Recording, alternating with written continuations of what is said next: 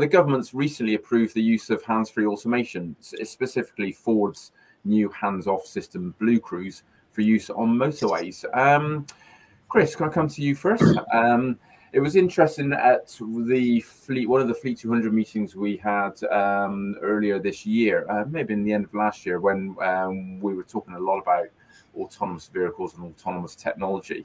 Um, and you know, there was there, the, the, feedback wasn't fantastic in terms of sort of how confident fleets would feel about adopting this this technology. But you know, this is coming. Well, it's it's here. How confident are you? Okay, so for me, yeah, very interesting to read what's gone on over the last uh, few weeks. So, for those of you that are not aware, this is full um, full system. That the principle is hands off and eyes on. So, up to speeds of 80 mile an hour, which is my first question: is why would we not cap it at 70 mile an hour? Why are we going to 80 mile an hour? Um, and on approved sections of the motorway, the system will enable you to take your hands off the wheel, um, but you have to keep your eyes on there and they'll the system will monitor uh, through various sensors and cameras your head position and your eyes. If you are not um, concentrating on the road ahead, it will sound an alarm. Um, if you continue not to, then it will start to brake and try and shake you into doing some action, and eventually it will just come to a halt with your hazard lights on. So, for me, I'm, I'm a bit on the fence with this one. So, I, I, think we've seen over the last few years a number of uh, automation that's come into vehicles that has improved safety. Um, ADAS systems, various things around uh, speed control, various things about warnings and when car in front has done something and that. So I think there's a lot of systems that have really benefited the driver and really helped um, us. And we probably get I, I, certainly have come adapted to using them and now if i went back to a car from say 10 years ago I would have to re-educate myself. So I think the principle of technology improving safety is good. Um, I've always thought that the weakest link in a vehicle is generally the person behind the wheel rather than the vehicle itself. However, um, it's a little bit like the untested uh, world. I'm also a little bit well. If I've got to concentrate on the road in front, what's the point of me just being able to take my hands off the wheels? Does that mean, you know, I suppose I could eat an apple or do something while you're driving along? So I'm not really seeing at this early stage the, the full benefits of it. Um, I think for me, you've got to trust the authorities um, that it's been looked at, been reviewed, been risk assessed. You've got to trust the manufacturers that they've done the testing, and you know, in honesty, we've got no reason to to doubt them. Um, however, as we've just been speaking about with smart motorways, not everything that we implement is actually going to be for the for the greater good. So. I think it's one where I'll be very interested to see what happens. I can't fully see the full benefits to me as a driver and to, to the fleet. Um, would I allow one of our drivers to um, to utilise it? Um, I would want to see certainly more information, perhaps some training and education from about the system. But in principle, I wouldn't not allow them, so I would support them. However, I also understand it comes at a monthly subscription, and I wouldn't be recommending to my business that we pay a monthly subscription for something something like this. So, uh, apologies for a bit of a politician's answer there, but I'm firmly on the fence. No, that's good. That's fine. Thanks, Chris. Um, I'll come to Duncan in just a moment. Uh, Lorna's uh, been been typing like fury. Um, tech for tech's sake.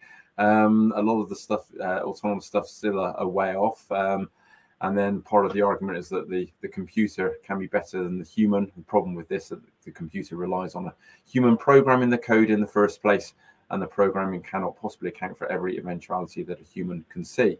Uh, and then Chris Jackson uh, mentioned well, driver is still legally liable for all of these L1 to L3 systems, so it's just marketing nonsense. Uh, I'll come back to Lorna's other point in a minute. Uh, Duncan, what's your thoughts? It's seventeen ninety nine a month marketing nonsense. um, I um, I'm really nervous about this. I, I I get the fact that the human can sometimes be the weakest link, but um, you know, this has been authorised for 95% of the motorway covering the UK, so it's not it's not small scale. It's it's massive scale, um, and yes, the camera can keep an eye on the human to make sure they're not doing stuff, but just knowing you don't have to be as uh, as in control of the car worries me that the human is just going to become even more dumbed down and dare I even say, you know, we introduced VAR into the uh, into the Premiership, and did it dumb down refereeing? I think it did. Okay, and I'm worried that it dumb down. So it will dumb down your driving skills. Okay, and in actual fact, might end up just presenting a greater risk.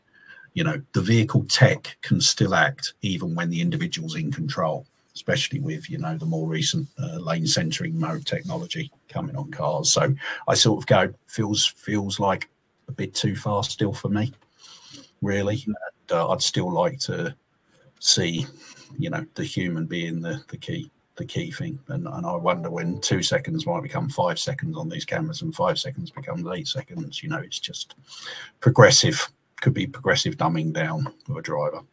Yeah, uh, Laura makes a similar point. Um, uh, one thing that bothers her is, is how much we're now downskilling drivers. Um, for ultimately, the driver is still responsible for their actions in the vehicle. Mm-hmm. A few other comments in. Um, Scott Felton saying he's had several issues with lane assist, trying to steer him out of motorway lanes for no apparent reason. So he's a bit dubious regarding autonomous driving. I mean, I think some of the, the systems that are out there at the moment are very hit and miss in terms of where they think the middle of the lane is um, and how particularly um, away from motorways, but sort of going around uh, corners, they have a an interesting perspective on uh, on where you should be positioned on the road. Um, and Paul Green said anyone who drives a Tesla on autopilot will know they need to. maybe I should have read that before I started to read it out. Should need to carry spare underwear for all those times when approaching a motorway junction in the inside lane and the car can't decide where to go. Uh, and that's a fair point. You know, why, why Ford had the special treatment because the government was quite slow with um, I know uh, a, a, year or so ago, Mercedes wanted to bring across some autonomous um, technology and wasn't able to because the uh, the rules weren't in place to allow that. Um, Paul, what, what's your general sentiment? What, what are your members thinking about this? Um, so how do I, I completely agree with everybody else. How do I put it? Um, I you know, I run my, my day job. I kind of run, well, I run a telematics business. So and I can firmly say that drivers' attitudes to driving are scary, particularly commercial vehicle drivers.